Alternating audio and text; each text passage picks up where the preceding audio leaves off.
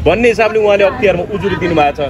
रमेश खरेलप्रति यहाँको भनाइ चाहिँ के छ? रमेश खरेल भन्ने कस्तो पात्र हो? प्रहरीमा हुँदा राम्रो सबैले गरेर किन आउनुभयो? यो देश नरहने अवस्थामा भएको हुनाले तपाईँ आइपुग्नु भएको छ। प्रधानमन्त्री कारले अब जनताले त उहाँको कामलाई प्रशंसा गरेको छ नि त। हामीले त मुक्त कण्ठले प्रशंसा चाहिँ के छ अब? रमेश खरेल भन्ने कस्तो पात्र हो? प्रहरीमा हुँदा राम्रो सबैले होइन? यतिसम्मको पात्र हो कि यो कुरा जनमानसमा अब चेतना छैन? र कतिलाई यो कुरा थाहा छैन भने मैले अब प्रहरीभित्र त अवगत गराउनु परेन। प्रहरी बाहिर आफ्नै श्रीमतीलाई सुराकी बनाएर पच्चिस पर्सेन्ट भत्ता लियो भन्ने कुरा आयो क्या? होइन, मैले भन्नै लागेको थिएँ तपाईँले भनिहाल्नुभयो। कि प्रहरीभित्र चाहिँ उहाँ कस्तो हो रमेश खरेल भन्ने व्यक्ति कस्तो हो भन्ने कुराको राम्रोसँग ज्ञान छ सबैलाई। तर आफ्नो श्रीमतीलाई सुराकी राखेर उहाँले त्यो पैसाका निम्ति केसम्म गर्न सक्नुहुन्छ त्यो थाहा छ। र पोस्ट र पावरका निम्ति कहिले कुन पार्टी कहिले कुन पार्टी नाच्नु भएको पनि हामीलाई थाहा छ।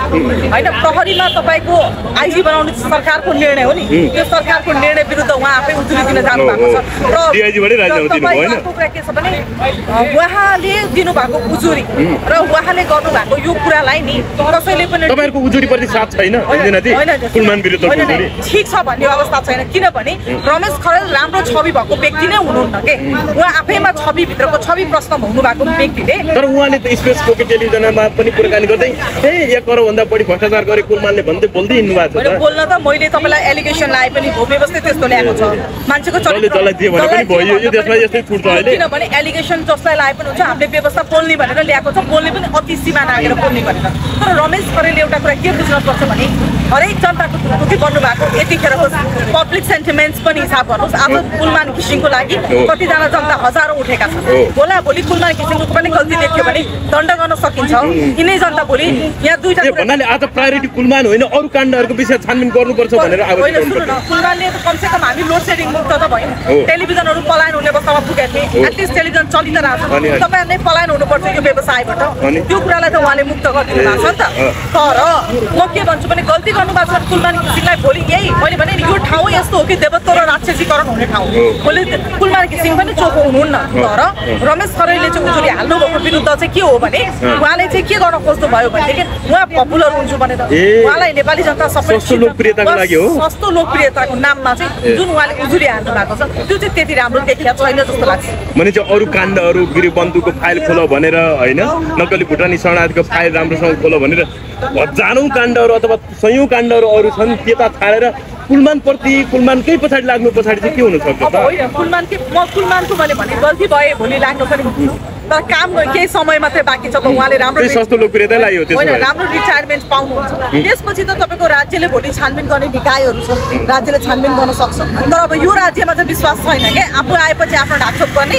अनि जसलाई मन लाग्छ त्यसलाई प्रतिशतको आधारमा चाहिँ तपाईँको रिसिभी गरेर तपाईँको कारवाही गर्ने सरकारको निम्ति त हामीले भन्न केही सकिँदैनौँ। त्यही भएर आज विद्यार्थी नेताहरूले जुन एउटा कदम चाल्नुभयो अब बङ्गलादेश नेपालमा हुन केही समय मात्र हामीले कुर्न बाँकी छ। यो- एउटा? एउटा जनाउ घन्टी हो। फर्स्टको तपाईँको वार्निङ घन्टी हो। अब यस्ता वार्निङ घन्टीहरू पटक पटक बजेर यहाँबाट नेताहरू भाग्ने पर्ने अवस्था। हस् धन्यवाद समयको लागि। बिजीले चलाउनुहुन्छ तर जनताले त उहाँको कामलाई प्रशंसा गरेको छ नि त हामीले त मुक्त कण्ठले प्रशंसा गरेका छौँ। त्यसकारण कुलमानजी लड्नुहोस् आउनुहोस् होइन? सिङ्गो जनता तपाईँको पक्षमा छ। हामी सबैजना तपाईँको पक्षमा छौँ। यो देश बनाउनुपर्छ यो देश बन्नुपर्छ। र यसरी अरूले चलाएर अरूका इसारामा नाच्ने देशलाई लुट्ने लोकतन्त्र भन्ने गणतन्त्र भन्ने तर यो देशलाई लुटेर खाने मिले भगतमा देशलाई चाहिँ नचाहिराख्ने नेताहरूको पछाडि चाहिँ नकुद्नुहोस् यो चाहिँ भन्छौँ हामी। तपाईँले यो भन्दै गर्दा कुनै समय तपाईँ केही पार्टीबाट उम्मेदवार दिनुभएको चुनाव लड्नुभएको रमेश हरेलज्यूले शुद्ध कुलमानको विपक्षमा अख्तियार आयोगमा चाहिँ उहाँले मुद्दा दायर गर्नुभयो। तर त्यस्ता धेरै मुद्दाहरू छन् जुन मुद्दा तपाईँलाई चाहिँ ललिता निवासको मुद्दा छ गिरिबन्धु सिंहको मुद्दा छ भुटानी शरणार्थीको मुद्दा छ ती मुद्दामा चाहिँ उहाँ लड्न सक्नु भएन। तर कुलमानको विपक्षमा चाहिँ गएर अख्तियार आयोगमा चाहिँ मुद्दा हाल्न सक्नुभयो। यो के भइरहेछ क्या उहाँलाई नै सोध्नुपर्छ होला। हामी हरेक देशमा भएका हरेक भ्रष्टाचारका मुद्दामा हामी निर्मम छौँ।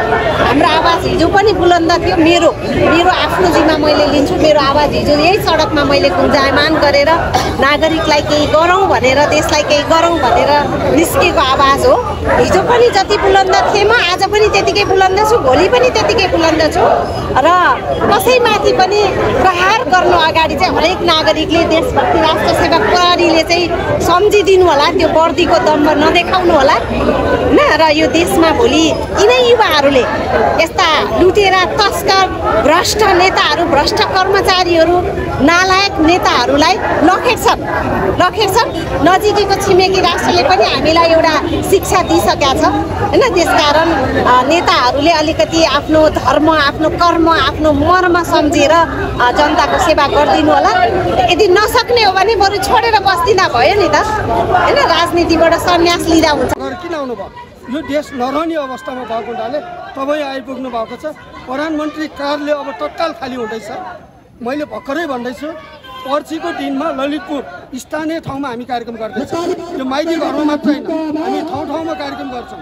यो कार्यक्रमले के भन्छ भन्दाखेरि नौ भनेको हामी जस्तो युवा नजागे खौ जाग्ने आज तपाईँले देख्न सक्नुहुन्छ सङ्घीय संसद भवनभित्र विद्यार्थी नेताहरू छिरिसक्नु भएको हो। छ हामी त अझ तपाईँको हेर्नु त माइती गिरिबन्धु खोल कुलमानलाई हटाउने कुलमानलाई हटाउनु खोज्यो भने अर्को बङ्गलादेश अर्को शेख हसिना बन्छु भन्ने हिसाबको प्ले कार्डहरू बोकेर संसद भवन छिर्न थाल्छ। नागरिकको आँट सुरु भइसकेको छ। म भन्छु आज सङ्घीय संसद भवनभित्र त विद्यार्थी नेताहरू छिरिसक्नु भएको छ भने हामी त माइती घरमा बसेर।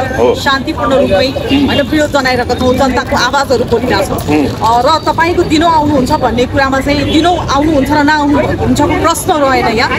अब देश रहने अवस्था रहेन।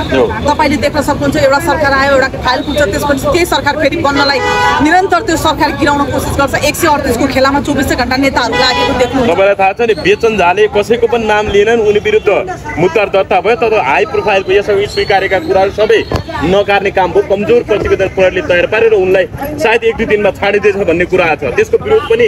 सङ्घीय संसद विद्यार्थीहरू प्रवेश गर्यो भन्ने कुरा छ क्या त्यसमा विद्यार्थी नेताहरूले अरू कुरालाई पनि छ तपाईँको हो। एउटा नक्कली भुटानी शरणार्थी प्रकरण छ, गिरिबन्धु छ।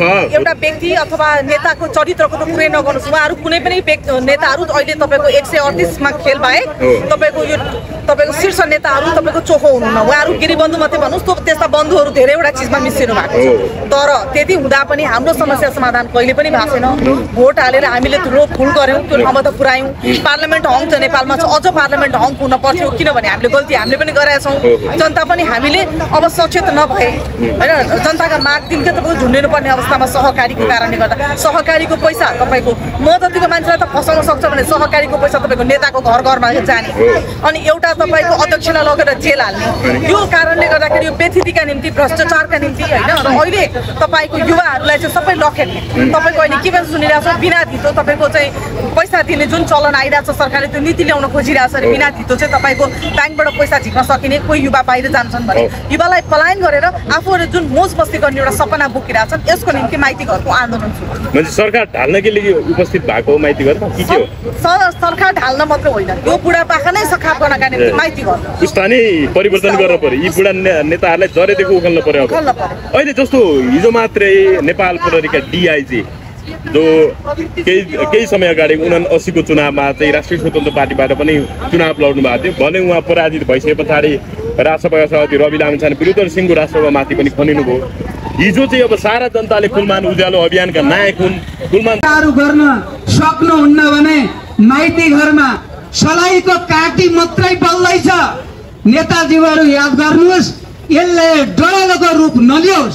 यो यहाँहरूलाई विनम्रतापूर्वक नागरिकको तर्फबाट सुझाव भन्दै मेरा आफ्ना भनाइहरू यहीँ टुङ्ग्याउन चाहन्छु। धन्यवाद नमस्कार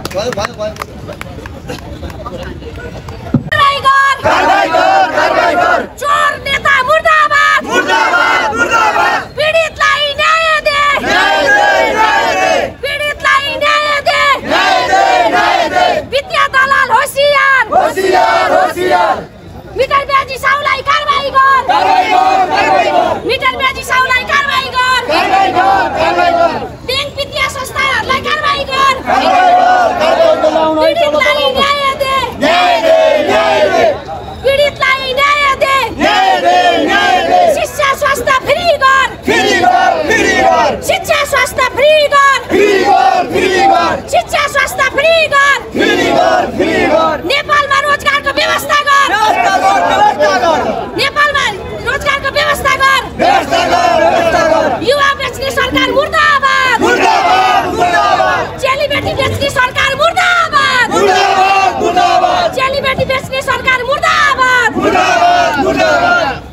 दाजुभाइ दिदी दाजुभाइ व्यक्ति सरकार मुर्दाबाद वित्तीय दलाल मुर्दाबाद विदेशी दलाल यो त आज मात्रै हो त प्रमाणित भइसकेको कुरा हो नि त होइन जनताको पक्षमा काम गर्ने एउटा राज्य संरचनामा बसेर जनतालाई नेपाली जनता जिन्दाबाद। जिन्दाबाद जिन्दाबाद। नेपाली जनताको एकता जिन्दाबाद। जिन्दाबाद जिन्दाबाद। विद्युत प्राधिकरणको बाइसौँ रकम असुल गर असुल गर असुल गर विद्युत प्राधिकरणको बाइसौँ रकम असुल गर असुल गर असुल गर एमालेको व्यापारी भन्नेमा छुट दिन पाइँदैन। पाइँदैन पाइँदैन। कुनै पार्टीको व्यापारी भन्नेमा छुट दिन पाइँदैन। पाइँदैन पाइँदैन। विद्युत प्राधिकरणको बाइसौँ रकम असुल गर असुल गर असुल गर विद्युत प्राधिकरणको बाइसौँ रकम असुल गर असुल गर असुल गर भ्रष्टाचारलाई जोगाउने नियमले ल्याइएको पाँच वर्ष हत्या खारेज गर